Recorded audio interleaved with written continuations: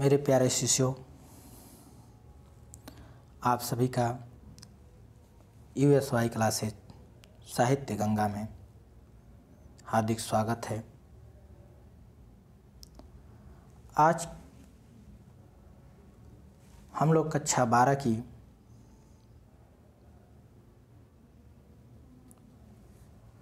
कक्षा बारह क्लास की हिंदी काव्य खंड में पहला अध्याय, दिए गए पहले अध्याय, प्रेम माधुरी।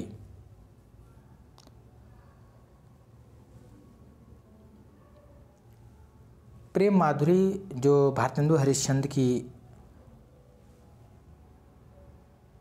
काव्य है, भारतेंदु हरिश्चंद्र का काव्य है, उस काव्य की कुछ पंक्तियाँ कक्षा बारह में जो है, दी गई है। और पहला ही अध्याय है, और पहले अध्याय का ज़िक्र हम लोग आज करेंगे।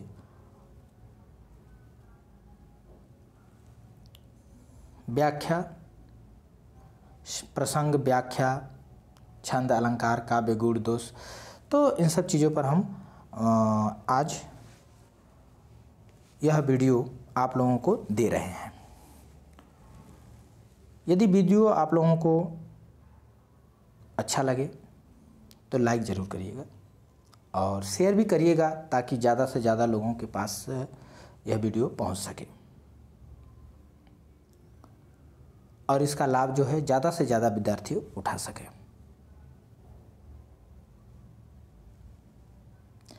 और जो लोग हमारे चैनल पर नए होंगे, वे लोग जो है चैनल को सब्सक्राइब भी कर लेंगे। जिससे आने वाली वीडियो का जो है नोटिफिकेशन उनको मिलता रहे। यह हमारी जो है पहली क्लास होने वाली है काव्य खंड पर और शुरुआत कक्षा बारह से कीजिए। कक्षा बारह से ही आरंभ होता है। कक्षा ग्यारह, कक्षा नौ, दस सभी क्लास की वीडियो आप लोगों को मिलेगी। लेकिन हमारी पहली क्लास जो है कक्षा बारह से स्टार्ट हो रही है। और पहला अध्याय है भारतेंदु हरिश्चंद्र का प्रेम माधुरी। तो पहले आइए हम लोग जीवन परिचय देख लेते हैं भारतेंदु हरिश्चंद्र का। जिन्होंने प्रेम माधुरी को लिखा है, रचना किया है। तो प्रेम माधुरी के रचयिता भारतेंदु हरिश्चंद्र हैं।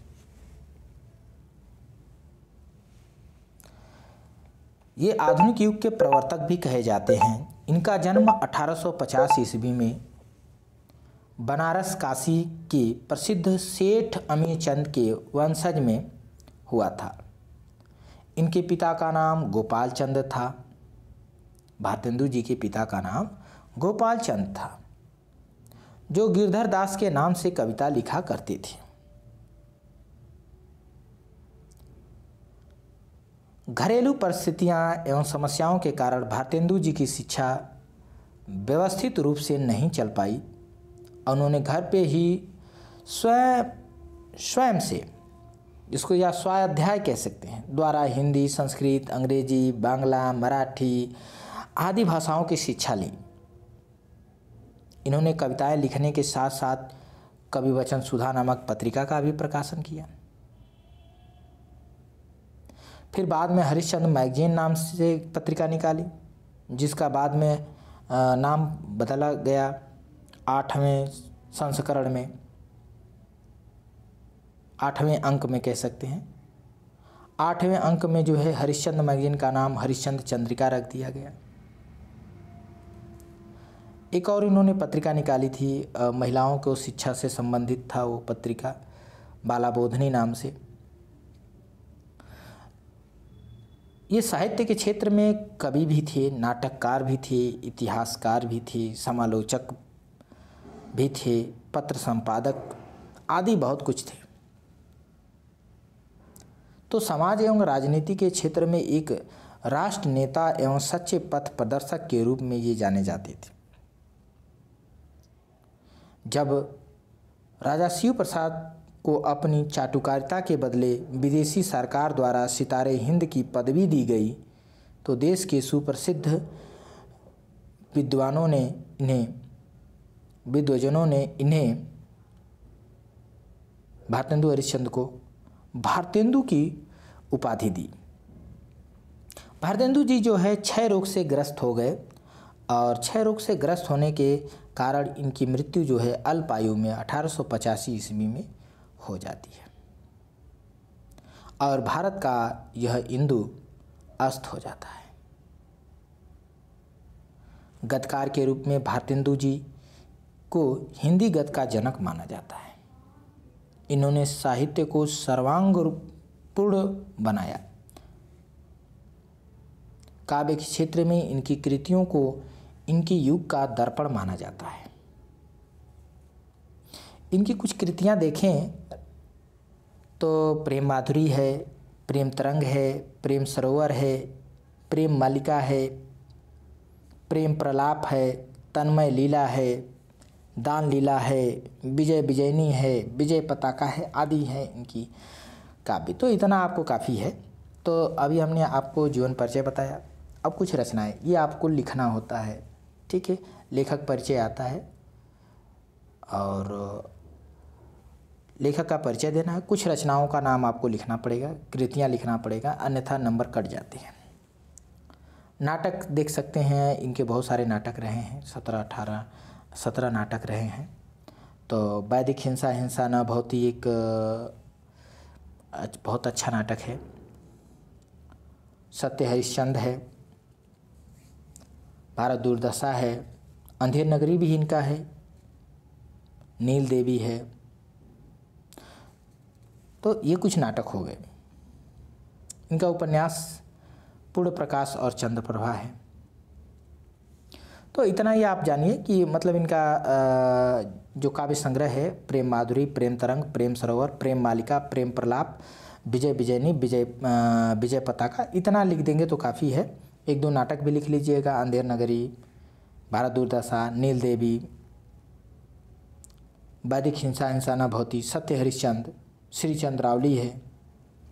ठीक है? तो ये रहे इनके कुछ जीवन परिचय। भारतेंदु हरिश्चंद्र का। भारतेंदु हरिश्चंद्र 1850 इनका जन्म आप लोग याद रखेंगे कि 1850 में इनका जन्म हुआ और मृत्यु अठारह ईस्वी में। देखिए, कुछ चीज़ें इंपॉर्टेंस है, जैसे माता का नाम और जन्म स्थान बनारस काशी और सन, जन्म सन, डेट और मृत्यु मृत्यु का डेट। तो ये कुछ क्लियर होना चाहिए और कुछ रचनाएँ। ठीक है? इतनी, ये चीज़ें सही होनी चाहिए। परफेक्ट। तभी आपको नंबर मिल सकता है। जीवन परिचय पर। तो आज हम, जीवन परिचय तो जीवन परिचय मेन उद्देश्य नहीं है। ये तो ऐसे आप लोगों को बता दिया गया। ठीक है? मेन उद्देश्य है प्रेम माधुरी शीर्षक से जो हमारा काव्य है, उस काव्य को। तो आइए अब हम उस काव्य पर चलते हैं। ठीक है, ये हमारा काव्य है। काव्य को पढ़ने से पहले इसके बारे में कुछ जान लेते हैं। ठीक है? हाँ तब काव्य पढ़ते हैं। देखिए जब आपको देगा, प्रश्न आएगा कि संदर्भ सहित व्याख्या करिए तो संदर्भ में आप क्या लिखेंगे? सबसे ज़रूरी चीज़, संदर्भ कैसे लिखेंगे? आप लोग का जब कापी जांची जाती है तो हम बहुत देखे हैं कि आप लोग सही से संदर्भ नहीं लिख पाते हैं। ठीक है? संदर्भ में कुछ मेन चीज़ होना चाहिए जो लेखक का नाम है। और शीर्षक का नाम। ये दो दो ही तो है इम्पोर्टेंस संदर्भ में लेखक का नाम, यानी कवि का नाम या लेखक का नाम, और उसके शीर्षक का नाम। ये दोनों बिल्कुल सही होने चाहिए और इन्वर्टेड कामे में होने चाहिए। ठीक है? अगर ये दोनों सही है तो आपका संदर्भ सही है। लिखेंगे कैसे संदर्भ? तो ऐसे लिखेंगे कि प्रस्तुत पदांश हमारी हिंदी पाठ्यपुस्तक में संकलित भारतेंदु हरिश्चंद्र द्वारा रचित प्रेम माधुरी शीर्षक कविता से उद्धृत है। फिर से बोल रहा हूँ, ध्यान से नोट कर लीजिए इसको। संदर्भ कैसे लिखेंगे? तो हेडिंग लगाएँगे संदर्भ और उसमें लिखेंगे, प्रस्तुत पद्यांश हमारी हिंदी पाठ्य पुस्तक में संकलित भारतेंदु हरिश्चंद्र द्वारा रचित प्रेम माधुरी शीर्षक कविता से उद्धृत है। ठीक है? प्रसंग में क्या लिखेंगे? पहले पद के लिए प्रसंग क्या लिखेंगे? देखिए, संदर्भ तो सभी के लिए एक ही होगा। ठीक है? एक चैप्टर में एक ही संदर्भ है। प्रसंग बदलते हैं, पद के अनुसार चलेंगे। ठीक है? तो प्रसंग, दूसरी हेडिंग आप बना लेंगे, प्रसंग। प्रसंग में क्या लिखेंगे? कि प्रस्तुत सवैया, ये सवैया छंद में है। प्रस्तुत सवैया में ब्रजबाला प्रेम मार्ग पर, ब्रजबाला, प्रेम मार्ग पर चलने से होने वाली जो निंदा है और उससे उत्पन्न जो कष्ट है, उन्हीं कष्टों का वो वर्णन कर रही है। प्रस्तुत सवैया में ब्रज की एक बाला है। ब्रज बाला मतलब जहाँ से कृष्ण चले गए, ब्रज के क्षेत्र से मथुरा चले गए ना तो ब्रज की जो बा गोपियाँ हैं, वो उदास होने लगी। विरह उनको होने लगा विरह सताने लगा। ठीक है? तो उसी का वो ज़िक्र किया है। तो ऐसे लिखेंगे कि प्रस्तुत सवैया में ब्रज बाला प्रेम मार्ग पर चलने से होने वाली निंदा एवं कष्टों का वर्णन कर रही है। कौन कर रही है? ब्रजबाला। तो देखिए, अब इसकी थोड़ा सा स्टोरी समझ लेते हैं उसके बाद जो है हम इस काव्य की पद को पढ़ते हैं, उसकी व्याख्या करते हैं। तो पहले से थोड़ा सा परिचय करा देते हैं ताकि उसको समझने में आपको आसान हो जाएगा। स्टोरी समझ लीजिए। देखिए, एक ब्रज की जो है नायिका है, ठीक है, वो अपनी सखी से कुछ कह रही है। कुछ क्या कह रही है? कुछ यही कह रही है कि उसको जो है प्रेम हो गया है। और प्रेमी जो है बिछड़ गया है। यानी कृष्ण और कोई गोपी होगी। तो कृष्ण वहाँ से चले गए हैं। ठीक है? तो वो अपने जो है सखी से बताती है कि यह प्रेम का जो मार्ग है ना, यह बड़ा कठिन है। बड़ा कठिन है। और यह मार्ग जीवन के कठु यथार्थ की तरह है। बिल्कुल कठोर, कष्टकार है। कष्ट देने वाला है। वह अपनी सखी से अपनी स्थिति का वर्णन करते हुए यह सब क्या कर रही है? कह रही है, कह रही है कि इसको ये जो हाँ ये जो दुख है ना, ये जो स्टोरी है, ये कहानी है, इसको किसी के सामने कह भी नहीं सकते। कहने में अपनी ही बदनामी होगी। उसको चुपचाप सह जाती है। तो जो नायिका है, अपने प्रेमी से बिछड़ गई है, ठीक है? अब ऐसे भी वहाँ तो ब्रज हो गया। अब एक नायक और नायिका। तो नायिका चला जाता है और नायक सॉरी, नायक चला जाता है और नायिका उसके विरह में है। और विरह में है तो वो अपने सखी से कुछ कहती है। अपने विरह की बात, ठीक है? या ब्रज ब्रज की कोई गोपी है, वो अपनी सखी से कहती है कृष्ण के चले जाने के बाद। या राधा को ही समझ लीजिए। ठीक है? राधा ब्रज की ही थी। तो राधा अपनी सखी से कहती हैं, क्या कहती हैं? अब इसको देखिए। कि मार्ग प्रेम को को समझे हरिश्चंद यथारथि होत यथा है। अरे लाभ कछु न पुकारन में बदनाम ही हो न की सारी कथा है। जानत है जिय मेरो भली विधि, और उपाय सभे बिरथा है। अबावरे हैं ब्रज के सिगरे, मोहिना हक पूछति कौन बिथा है। मोहिना हक पूछति कौन बिथा है? फिर से पद को देख लीजिए। कि मार्ग प्रेम को समझे, हरिश्चंद यथारथी होत यथा है। लाभ कछु न पुकारन में बदनाम ही हो न की सारी कथा है।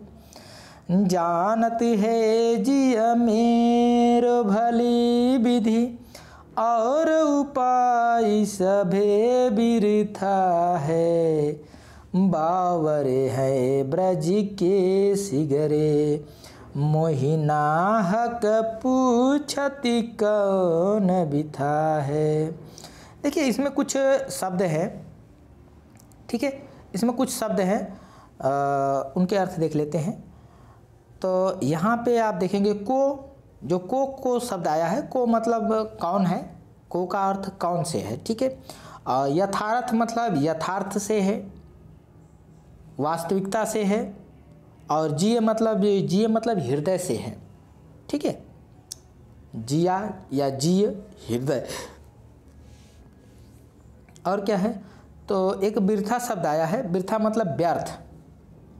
बिरथा मतलब व्यर्थ। और सिगरे सिगरे शब्द का अर्थ है सब। सिगरे मतलब शब्द। और बिथा मतलब होता है व्यथा, दुख, कष्ट, पीड़ा। ठीक है? अब इसके अर्थ पर आते हैं। तो संदर्भ हमने इसका बता दिया है। प्रसंग भी बता दिया। ठीक है? कि नायिका जो है अपने प्रेम मार्ग पर होने वाले दुख, कष्ट इन सब का जो है वर्णन कर रही है, ठीक है? उसको जो निंदा मिल रही है, उसको जो अपमान मिल रहा है, उसको जो कष्ट झेलने को मिल रहा है, उनका ही वर्णन कर रही है अपने सखी से। कैसे कर रही है? कि मार्ग प्रेमक को हरिचंद हरिश्चंद यथारथी होते यथा है।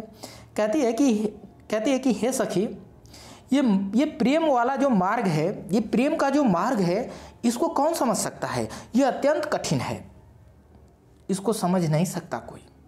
यह बहुत कठिन है। कौन समझे इसको? यह मार्ग जीवन के कटुई कट्टू कटु माने कड़वे सच्चाई, यानी यथार्थ की तरह है। जैसे यथार्थ कड़वा होता है ना, वैसे कड़वे यथार्थ की तरह है। कड़वे यथार्थ की तरह कठोर और कष्टकर है।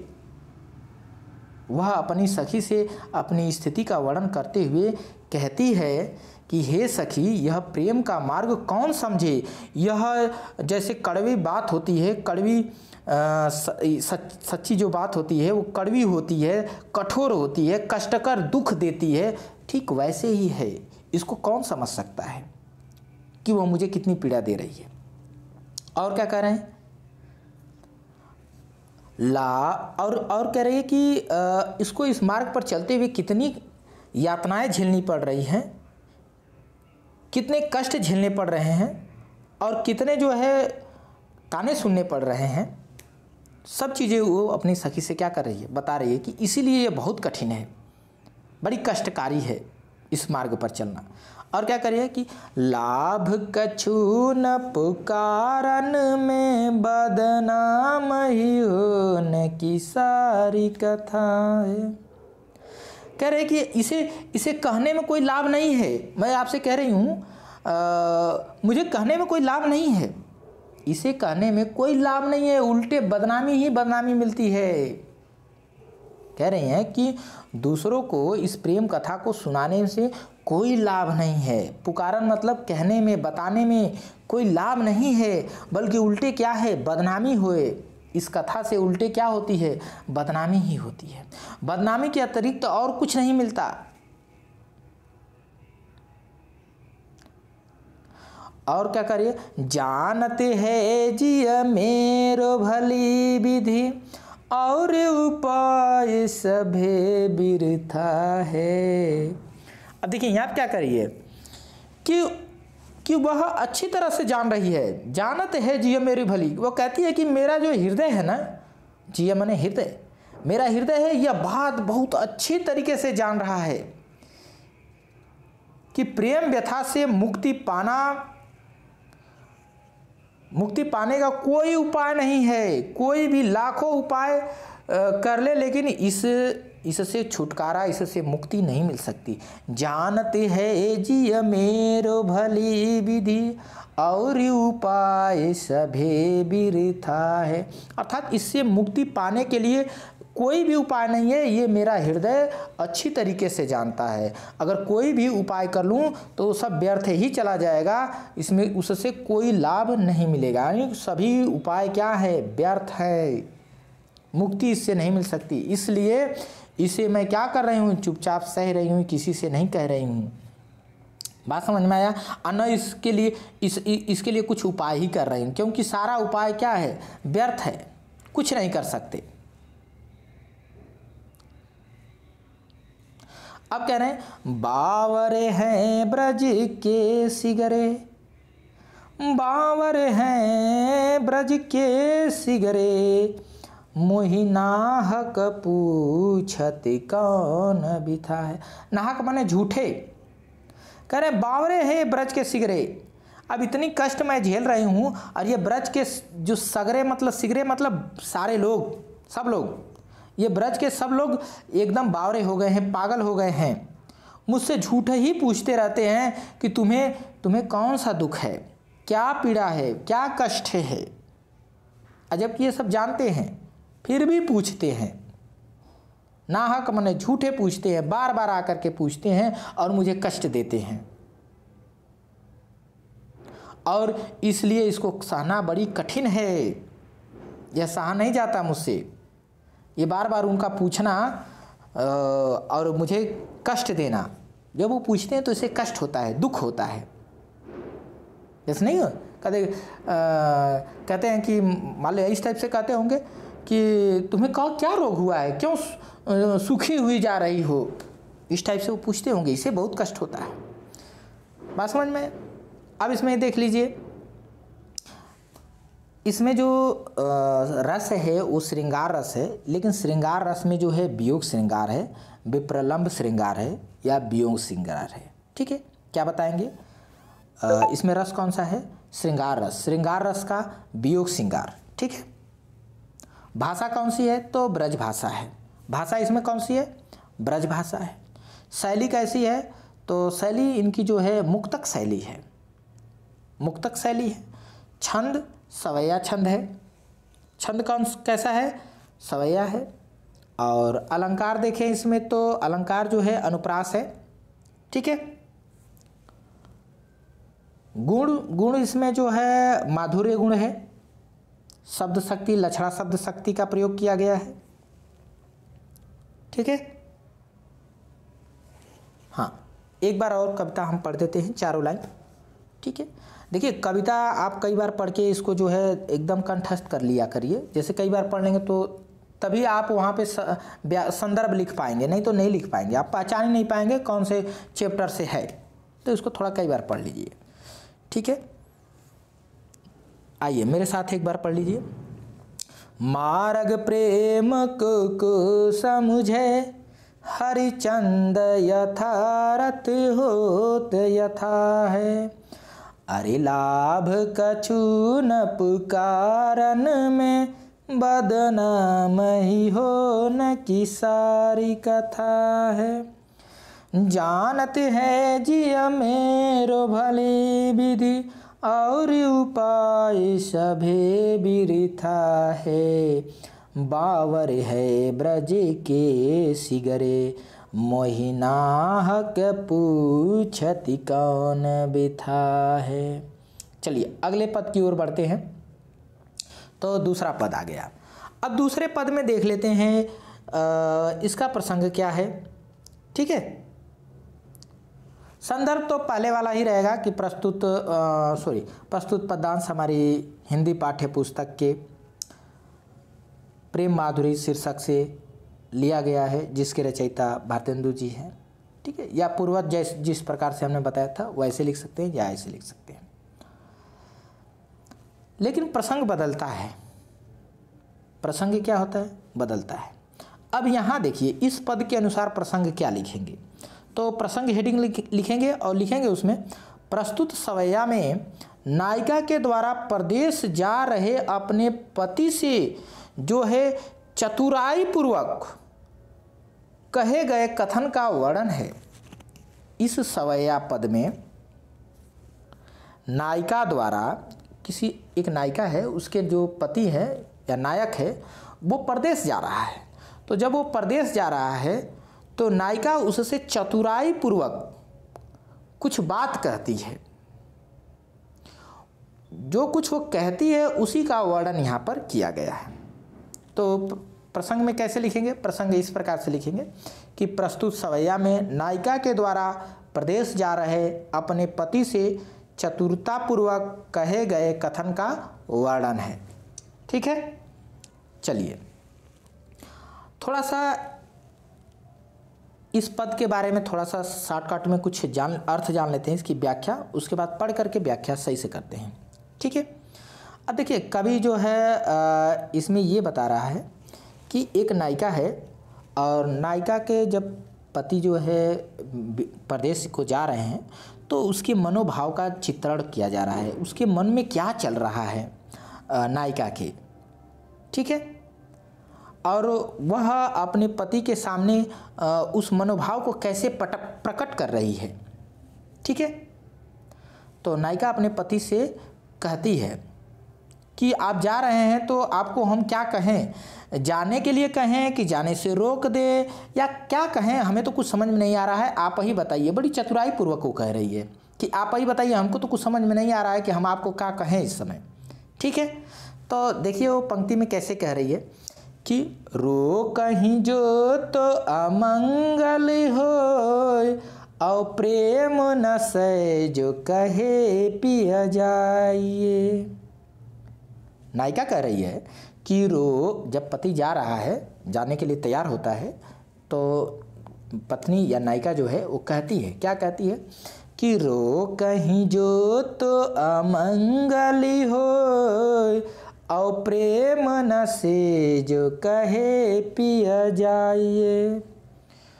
जो कहे जाहू न तो प्रभुता, जो कहे जाहू न तो प्रभुता अजो कछु ना कहे तो स्नेह नसाइए। जो हरिचंद कहे तुम्हारे बिनु जी है ना तो यह क्यों पतियाइए? पतियाइए मतलब विश्वास। तासो पयान समय तुम्हारे हम का कहे आप हमें समझाइए। फिर से पंक्ति देखिए। रो, थोड़ा सा अर्थ समझ लीजिए अर्थ कह रहे हैं। मतलब शब्दों के, कुछ कठिन शब्दों के अर्थ देख लीजिए। उसके बाद फिर एक बार पढ़ते हैं। नशे मतलब क्या होता है? यहाँ दिया है, प्रेम नशे। नशे मतलब नष्ट होना, ठीक है? और बिन जी हैं बिन जी हैं का मतलब होता है कि बिना जीवित रहें, आपके मतलब आपके बिना जीवित रहें, कैसे रहें? तो बिन जी हैं माने बिना जीवित रहे, ठीक है? और पतियाये का मतलब विश्वास। पयान समय पयान समय का मतलब होता है प्रस्थान के समय, यानी जाने के समय, ठीक है? तो एक बार और इस पद को पढ़ते हैं, फिर व्याख्या करते हैं आप लोगों के सामने। अब शब्द कुछ सुन लिए, शब्द के कुछ अर्थ जान लिए। तो अब देखिए रो कहीं जो तो अब नायिका कह रही है, नायक से, कि अब आप जा रहे हैं, अगर रो कहीं जो तो अमंगल हो, रो कहीं जो तो अमंगल हो, और प्रेम न से जो कहे पिए जाइए। जो कहे जाहू न तो प्रभुता अजो कछु न कहे तो स्नेह न साइए। जो हरिचंद कहे, तुमरे बिनु जी है ना तो यह क्यों पति आइए? तासो पयान समय तुमरे, तासो पयान समय तुमरे, हम का कहे आप हमें समझाइए। अब यहाँ नायिका जो है अपने पति से करिए जब वो पति प्रदेश की ओर जाने वाला है तो उसके सामने जो है अपने मन भावों को, अपने विचारों को प्रकट कर रही है। कैसे? कहती है कि यदि जाते समय मैं आपको अगर रोकती हूँ रोक ही जो तो अमंगल हो। जाते समय यदि मैं आपको रोकती हूँ तो टोक लगेगा, अमंगल होगा। यात्रा अमंगल, ये अमंगल का सूचक है। यात्रा अमंगल हो जाएगी, शुभ नहीं रहेगा। और यदि कह दूँ कि यदि कह दूँ कि पिए जाइए प्रेम नशय जो कहे पिए जाइए। अगर मैं ये कह दूँ कि नहीं आप जाइए जहाँ जा रहे हैं वहाँ जाइए तब तो प्रेमे नशा जाएगा। तब ये होगा कि आ, तब आपके विचार में ये शायद आ सकता है कि हमसे वो प्रेम ही नहीं करती हो।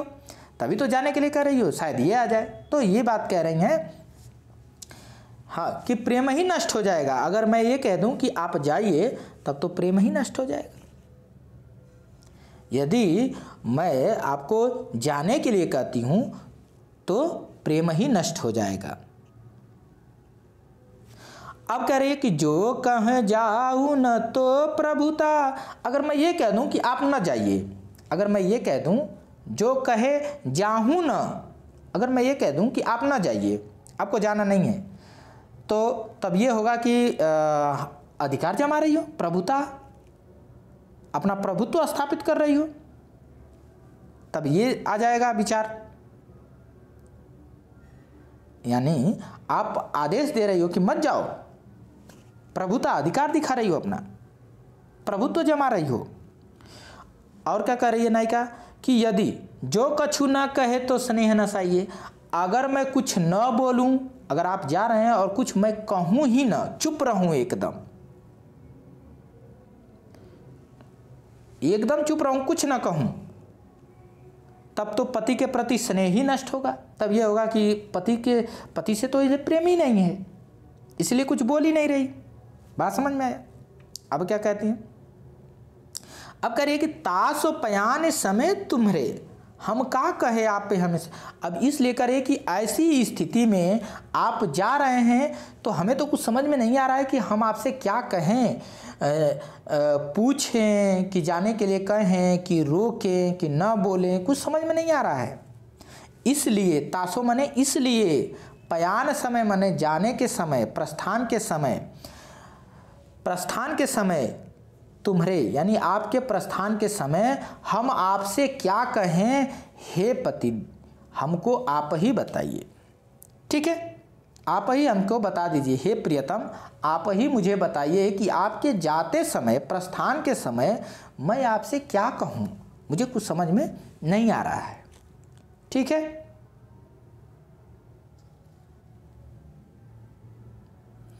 अच्छा एक एक लाइन छूट गई है, एक लाइन छूट गई है। जो हरिश्चंद कहे तुमरे बिन जी है ना। तीसरी लाइन, जो हरिश्चंद कहे तुमरे बिनु जी है ना तो क्यों पति आइए हाँ ये लाइन छूट गई थी। इसका मतलब ये होगा कि यदि मैं ये कह दूँ कि मैं आपके बिना नहीं जी सकती, मैं नहीं रह सकती तो तो आपको इस पर इस पर कौन विश्वास कर सकता है? इस पर कैसे विश्वास हो? कैसे भरोसा हो? क्या आप आप इस बात पर विश्वास करेंगे? नहीं। तो इसीलिए तासोपयान समय तुम्हारे, हम का कहे आपको समझाइए। इसीलिए आपके जाने के समय हम आपसे क्या कहें, आप ही हमको बता दीजिए। आप ही समझा दीजिए कि आपके ये जाने का जो समय है, इस समय हम आपसे क्या कहें। तो ये नायिका जो है, बड़ी चतुराई पूर्वक अपने पति से पूछ रही है, क्योंकि वो नहीं चाहती है कि मैं कुछ ऐसा कहूँ जिसका अर्थ ये जो है गलत निकाल लें, ठीक है, या गलत समझ लें। इसीलिए वो सीधे उन्हीं से पूछ रही है कि आपके जाने के समय मैं क्या कहूँ, ठीक है?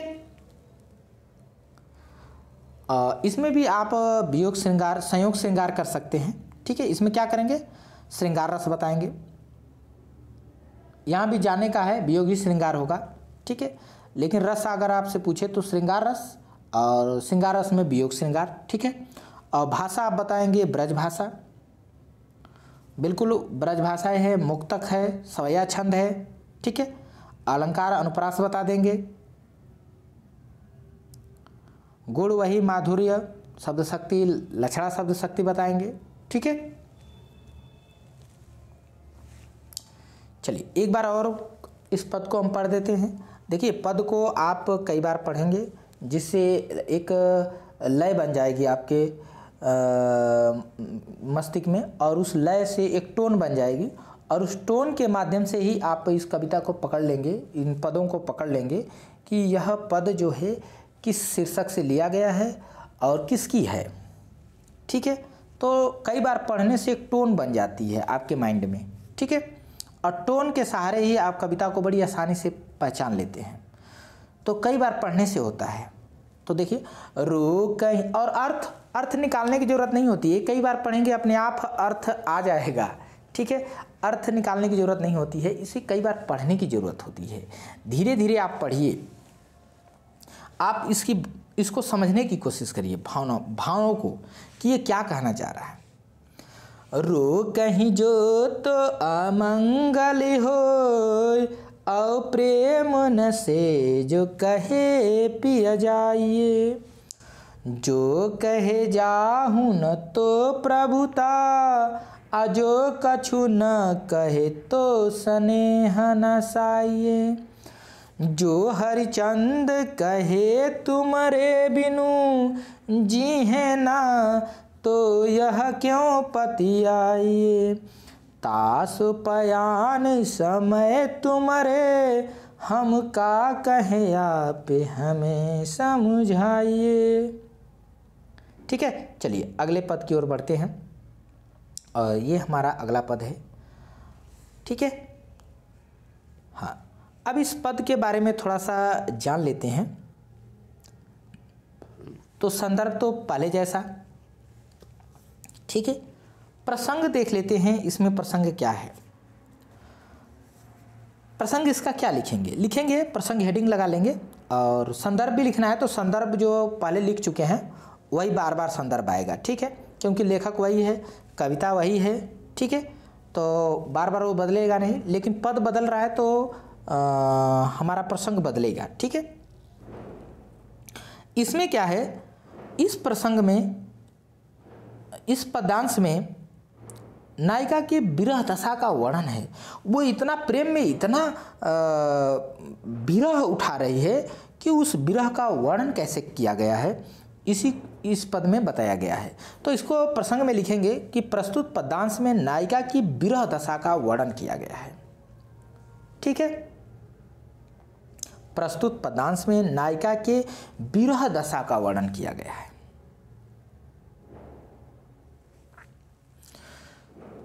इसमें जो है, विरह में व्याकुल एक नायिका अपने प्रेमी के प्रति अपनी भावनाओं को व्यक्त करती है। विरह में व्याकुल एक नायिका अपने प्रेमी के प्रति जो उसकी भावनाएँ हैं, उसी भावनाओं को व्यक्त करती है। और कैसे व्यक्त कर रही है अपनी भावनाओं को? आप देखिए, पद पे आइए। आज लो जो न मिले आज लो जो ना मिले तो कहाँ हम तो तुम्हारे सब भांति कहावे मेरो उराहनो है कछु नाही, सब है फल यापन भाग को पावे जो हरिचंद भई सो भई अब प्राण चले, चाहे तासो सुनावे। प्यारे जू है जग की यह रीति। प्यारे जू है जग की यह रीति। विदा के समय सब कंठ लगावे। आज लो जो ना मिले तो कहाँ? हम तो तुम्हारे हम तो तुम्हारे सब भांति कहावे, मेरो उराहनो है कछु नाही। सब फल यापन भाग को पावे। आ जो हरिचंद भई, सो भई, अब प्राण चले चाहे तासो सुनावे। प्यारे जू है जग की यह रीति विदा के समय सब कंठ लगावे। तो अब देखिए नायिका अपने प्रेमी के प्रति विरह में व्याकुल होकर के क्या कह रही है? कह रही है कि आज तक तुमसे नहीं मिले, आज लो जो न मिले। कह रहे कि आज ले जो हम तुमसे नहीं मिले तो कोई बात नहीं। तो कोई बात नहीं। हम फिर भी सभी प्रकार से केवल तुम्हारे ही कहलाते हैं। क्या करें? आज लो जो न मिले तो कहाँ? हम तो तुम्हारे सब भांति कहा भाई वो कह रही है कि आज ले जो हम तुमसे नहीं मिल पाई तो क्या हुआ?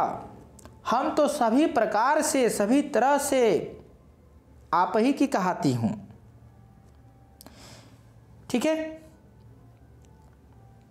अब देखिए, मेरो उराहनो है, कछु नाही, सभे फल यापन भाग को पावे।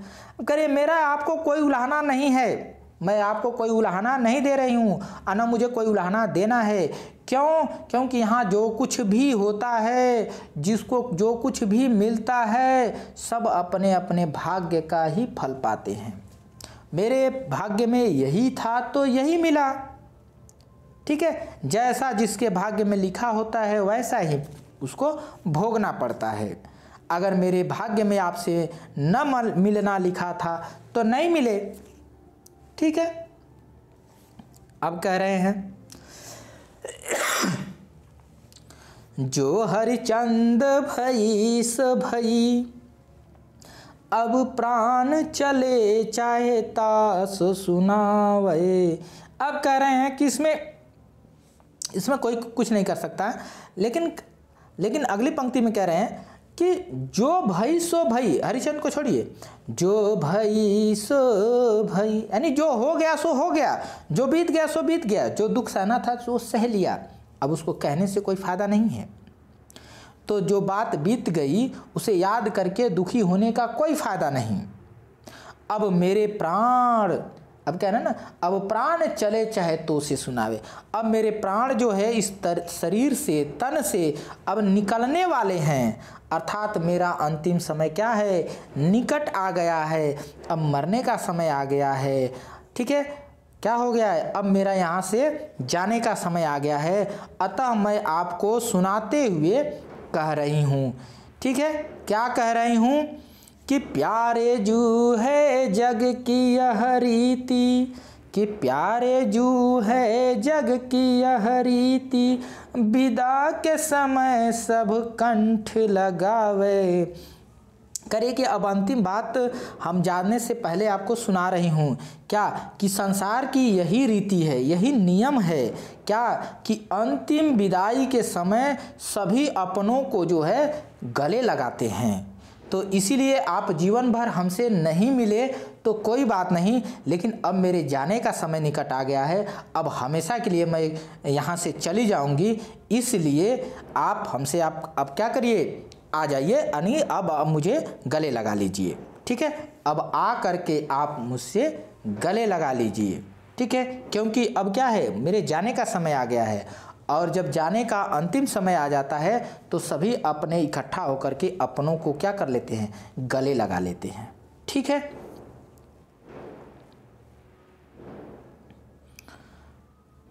चलिए तो इसमें भी आप भाषा वही लिखेंगे। ब्रज भाषा शैली में क्या लिखेंगे? मुक्तक शैली। और रस में क्या लिखेंगे? भाई वियोग श्रृंगार ठीक है? गुण माधुर्य है, शब्द शक्ति, लक्षणा शब्द शक्ति है। ठीक है? तो एक बार और इस पद को हम पढ़ देते हैं। ठीक है? ताकि आपके दिमाग में एक टोन बन जाए और टोन बन जाएगी तो आपको कविता क्या हो जाएगी? कविता के पद आसानी से पहचान आ जाएँगे। ठीक है? तो देखिए, एक बार और हम पढ़ते हैं। आजुलो जो न मिले तो कहाँ? आज लो जो न मिले तो कहाँ? हम तो तुम्हारे सब भाति कहावई। मेरो उराहनो है कछु नाही, सब फल आपन भाग को पावे जो हरिचंद भई सो भई अब प्राण चले चाहे तो से सुनावे। प्यारे जू है जग की यह रीति कि विदा के समय सब कंठ लगावे। तो ये एक टोन बन गई। अब देखिए अंतिम पद है हम लोगों के सामने। चार ही पद इसमें दिए गए हैं। ठीक है? तो हाँ इसमें देखिए आप आ, इसका प्रसंग संदर्भ तो वैसे ही रहेगा। संदर्भ नहीं आपको बदलना है क्योंकि लेखक सॉरी कवि और शीर्षक वही है। केवल पद बदल गए हैं तो हमारा प्रसंग बदलेगा ठीक है?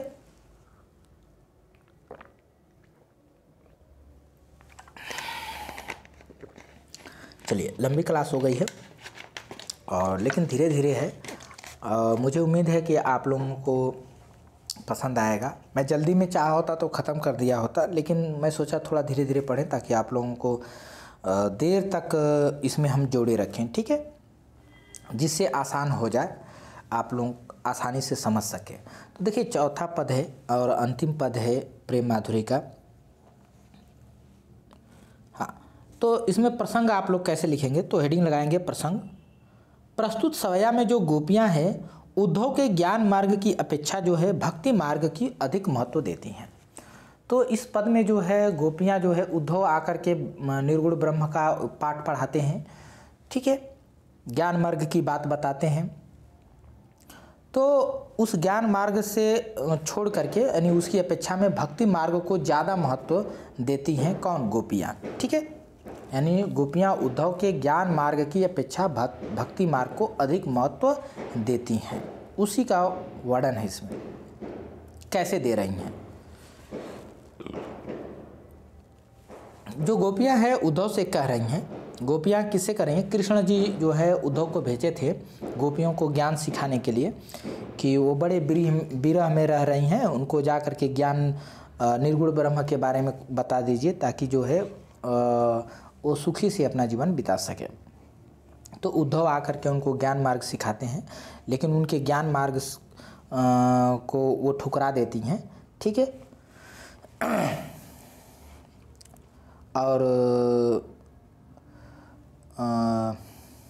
अपने जो है भक्ति मार्ग श्री कृष्ण में, विरह में ही वो अपने लीन रहती हैं, ठीक है?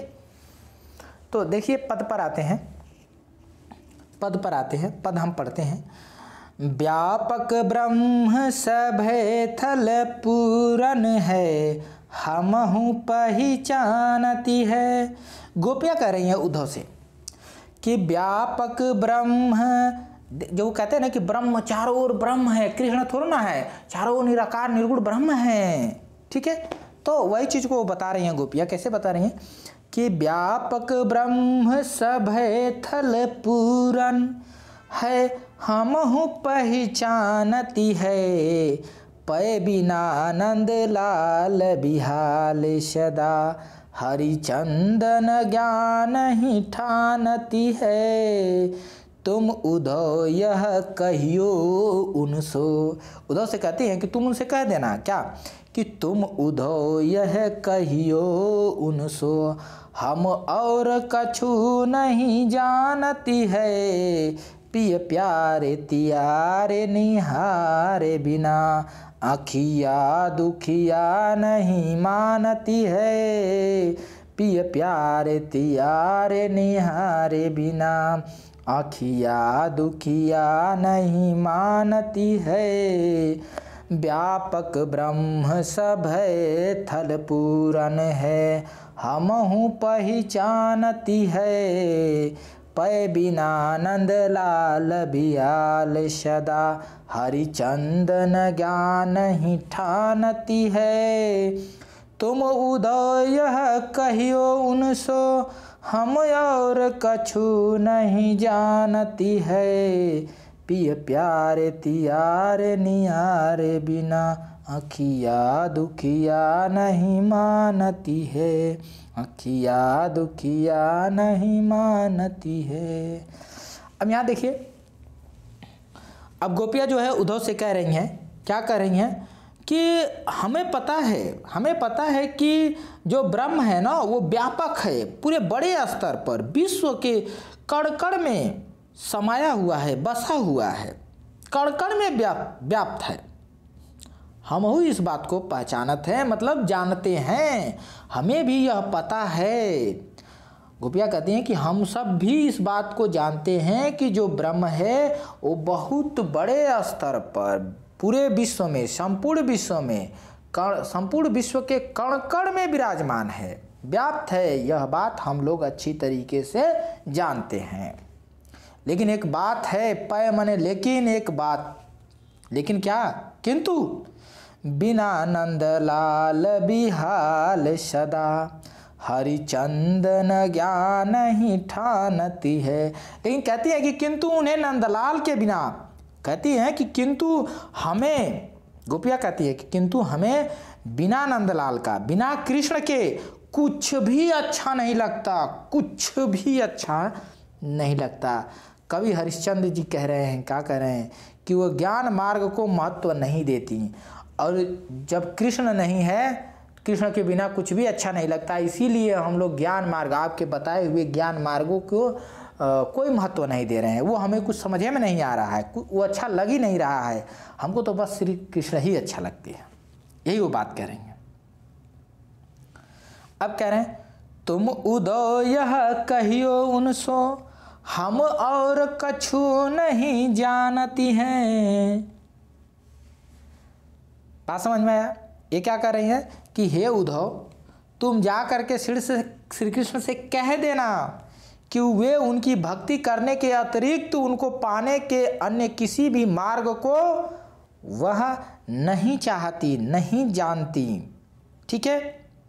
तुम उदो यह कहियो उनसो, हम और कछु नहीं जानती है। यानी हे उद्धव, श्री कृष्ण से जाकर के ये कह देना कि वो आपके अलावा और आपके भक्ति के अलावा आपको पा, पाने के अलावा आपके सिवा उन्हें कोई मार्ग नहीं चाहिए। दूसरा मार्ग नहीं यही भक्ति वाला ही मार्ग चाहिए। आप ही वाला मार्ग चाहिए जो उनके पास है वही मार्ग चाहिए।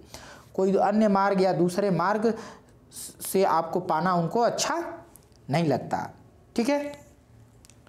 पिय प्यारे तिहारे निहारे बिना आखिया दुखिया नहीं मानती है। ये कह देना कि कृष्ण आपको देखे बिना, उनकी आँखें किस प्रकार, किसी भी प्रकार से संतुष्ट नहीं होती। जब तक जब तक वो आपको देखेंगे नहीं, उनकी आँखें संतुष्ट नहीं होंगी। और उनको मनाने से भी वो नहीं मानेंगी। वो कह रही हैं गोपियाँ कि हम लोग मनाने की कोशिश कर रही हैं इन आँखों को लेकिन ये आँखें मानती नहीं है। देखने की जिद कर रही है श्री कृष्ण को ही देखने को जिद कर रही है। और कुछ और कुछ दिखाने पर ये ये मान ही नहीं रही हैं। और किसी चीज़ को देखने की आ, देखने की ओर ये उत्साहित ही नहीं है। कुछ भी नहीं देखना चाहती है सिवाय श्री कृष्ण के। उनकी जो दुखिया आँखें हैं ना केवल और केवल कृष्ण से मिलने की प्रतीक्षा में है। ये आप जा करके बता दीजिएगा। कौन कह रही हैं? तो गोपिया कह रही हैं। ठीक है? तो देखिए इसमें जो है आ, इसकी भाषा आपको हम पहले ही बता चुके हैं कि ब्रज भाषा है मुक्तक छंद में है। छंद इसका सवैया है सवैया छंद मुक्तक है। अलंकार अनुप्रास लगाएँगे माधुर्य गुण है और लक्षणा शब्द शक्ति का प्रयोग किया गया है। ठीक है? एक बार और हम इस पद को पढ़ देते हैं, ताकि एक टोन आपके दिमाग में बन जाए, जिससे आप पद को आसानी से पहचान सके कि यह पद किस शीर्षक से अवतरित है और इसके रचयिता कौन है। तो सुनेंगे। व्यापक ब्रह्म सब थल पूरन है हमहु पहचानती है। पय बिनानंद लाल बिहाल सदा। हरिचंदन ज्ञान ही ठानती है। तुम युधो तुम उधो यह कहियो उनसे। हम और कछु नहीं जानती है। पिए प्यारे तिहारे निहारे बिना। अखिया दुखिया नहीं मानती है। तो हमारा जो है यह अध्याय समाप्त होता है। प्रेम माधुरी शीर्षक, जिसके चार पद थे और चारों पद हम लोग इसी वीडियो में कंप्लीट कर लिए हैं। यह वीडियो यदि आप लोगों को अच्छा लगा तो आप लोग लाइक, शेयर ज़्यादा से ज़्यादा करेंगे। और यदि चैनल पर आप लोग नए हैं तो आप लोग जो है इस चैनल को सब्सक्राइब कर लीजिए, बेल आइकन दबा लीजिए, जिससे जैसे कोई वीडियो हम अपलोड करें, उसका नोटिफिकेशन आप लोग के पास पहुँच सके। और नेक्स्ट वीडियो हमारा जो है, भारतेंदु जी का अगला जो पद है, काव्य है, यमुना छवि है शायद। तो उस पर होगा। और मिलते हैं हम अगले वीडियो में। तब तक के लिए आप सभी लोगों का बहुत बहुत धन्यवाद। शुभ संध्या।